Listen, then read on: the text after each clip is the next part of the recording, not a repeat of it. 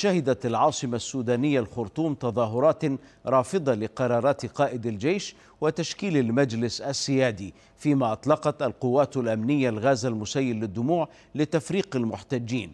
وأكدت لجنة الأطباء المركزية ارتفاع عدد قتلى تظاهرات اليوم إلى خمسة إضافة لعدد كبير من المصابين في مستشفيات الخرطوم.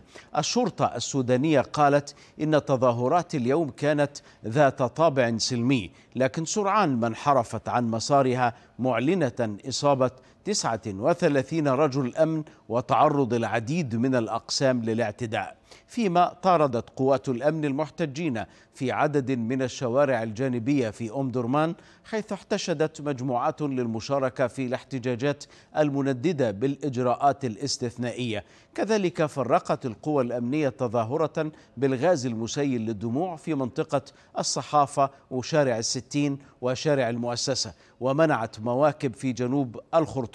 في حين أغلق متظاهرون شوارع في الخرطوم بحري بالمتاريس وكانت مراسلة الحدث أوضحت أن الاحتجاجات انحصرت في بعض مناطق العاصمة بعدما تعمدت قوات الجيش إلى إغلاق معظم الجسور التي تؤدي إلى الخرطوم مبقية على ثلاثة منها فقط من أصل عشرة جسور.